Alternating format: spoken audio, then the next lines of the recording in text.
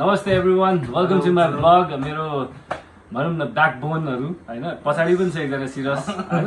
Camera chief हाम्रो यहाँ रविन्द्र हाम्रो सरकार राजा। राजाको नाम फेरि एकछिन म जहिले बिर्सिन्छु क्या राजाको नाम?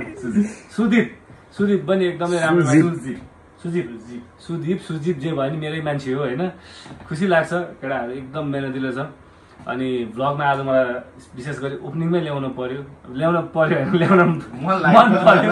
ल्याउन मन पर्यो किनभने केटाहरूलाई जहिले मैले बिचमा मात्रै लिएर हुन्छ सिरियस पनि छ होइन। So this guys are hard working म सिरियसलाई पनि ल्याउन चाहन्छु फ्रेन्डमा। तिमीले के भन्छौ पहिला? तिमीले के भन्छौ? अब आज सुटन ज्ञान भएको थियो मलाई चाहिँ मनपर्ने नेता हो होइन।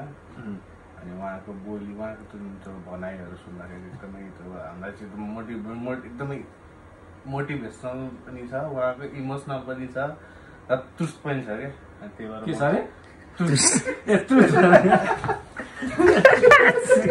त्रुस भने। चाहिँ के हो?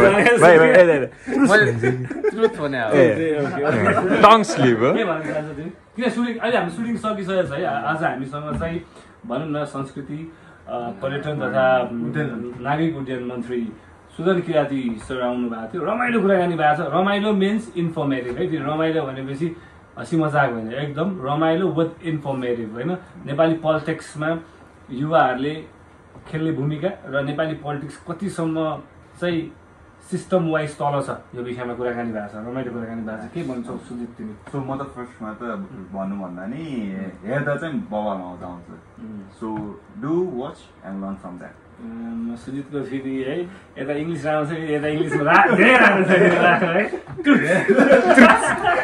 रमाइलो रमाइलो हामी जब रमाइलो गर्छौँ इङ्ग्लिस भनेको जस्ट ल्याङ्ग्वेज इङ्ग्लिसमा एक्चुली सिरियसलाई बोलाउन सिरियसलाई यता बोलाउ इङ्ग्लिसमा come here and I too, I, I, I click video, okay guys? Oh, and my camera, okay. Okay Sirius कस्तो कस्तो रह्यो आजको एपिसोड आजको सो चाहिँ इन्फर्मेटिभ छ र युथहरूको लागि एकदम इन्फर्मेटिभ छ र यो अहिले पुरानो पोलिटिकल लिडरहरूलाई लात हानेको देखाएको छ र सिस्टम चेन्ज हुनुपर्छ। ओके. किनभने मलाई चाहिँ अ- अ- अझै एउटा राम्रो पक्ष के लाग्यो भने सुदन सरको उहाँ अहिले मिनिस्टर हुनुहुन्छ। मैले अघि पनि तपाईँहरू जानकारी दिइसकेँ होइन। He is the minister of tourism culture civil aviation तर मैले जति पोलिटिसियन्सहरूसँग इन्टरभ्यू लिएको छु नि एउटा घमण्ड हुन्छ क्या उहाँहरूकोमा आई डोन्ट नो किन घमण्ड हुन्छ के को लागि हुन्छ थाहा छैन। तर सुदन सरकोमा मैले सोमा पनि भनेको छु एकदम पोजिटिभ भाइब्स के? एकदम। पोजिटिभ भाइब्स उहाँ जस्तो चाहिँ व्यक्तिहरू चाहिँ एकदम राम्रो ठाउँमा हुनुपर्छ र सिस्टम त एकदमै गाह्रो छ अरे नेपालको होइन? तर चेन्जको लागि पनि उहाँहरू हुनु उहाँहरू जस्तो व्यक्तित्व हुनुपर्छ क्या?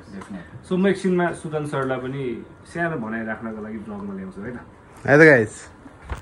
सो एनिवे सुदन सरसँग एकदमै हुन्छ नि इन्फर्मेटिभ कुराकानी भएको छ। युथहरू कति इन्ट्रेस्टेड हुनुहुन्छ नेपाली पोलिटिक्समा होइन? र आज सरले हुन्छ नेपाली पोलिटिक्सको विषयमा भनौँ न एकदम सिम्पल वेमा धेरै कुराहरू राख्नु भएको छ। यो एपिसोड चाहिँ तपाईँहरू स्याटरडे एट पिएममा हेर्नुपर्ने हुन्छ। सो सर के भन्न चाहनुहुन्छ नेपाली युथहरूलाई अब युवाहरूलाई तपाईँहरू नै उदाउँदो सूर्य हो। तपाईँहरू कुनै पृथ्वीमा धेरै लामो समय छ। तपाईँहरू निराश नहुनुहोस्। आउने हाम्रो कार्यक्रममा भेट हुनेछ। भाषाङ जीको मार्फत। धन्यवाद। ओभरअल रमाइलो भयो सर आज। ठिक छ रमाइलो भयो। नेपाली पोलिटिक्समा आउनको लागि त युवाहरूलाई तपाईँले आह्वान गर्नु पर्ने नि सर। मैले अघि पनि भनिसकेको छु। राजनीतिले नै हो देश बनाउने नै बिगार्ने संसारमा जति पनि देशहरू बनिएको छ भने राजनीतिले नै हो बिग्रेको छ भने राजनीतिले नै हो। तपाईँ राजनीतिमा लाग्नु भएन भने तपाईँभन्दा बुद्धि नभएको मान्छे गबाड मान्छे तपाईँमाथि शासन गर्न आइपुग्छ त्यस कारणले बुद्धि भएको मान्छेहरू राजनीतिमा लाग्नुहोस्। यही अनुरोध गर्न चाहन्छु। वेल सेड मन पर्यो यो लाइन मलाई थ्याङ्क यू सो मच र धेरै कुराहरू सोमा आएको छ प्लिज हेर्नु होला स्याटरडे एट पिएम है त।